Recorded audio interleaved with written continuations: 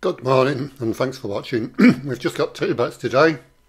Uh, both at Ayr where the going is heavy and racing is live on Racing TV.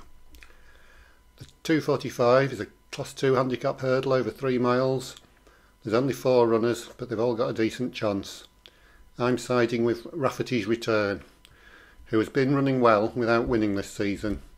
He was fourth at this course three weeks ago over a shorter trip and the step up to three miles today should suit him. He acts on this ground and Ross Chapman rides for Rebecca Menzies. The 345 is a class 4 handicap chase over 2 miles. Another small field, only 5 runners but still competitive. My selection is Fia Funid, who has won over hurdles at this course and distance. He started his chasing career promisingly and was second last time at Carlisle. He gets this trip easily and acts on the ground. Sean Quinlan's riding for Martin Todhunter.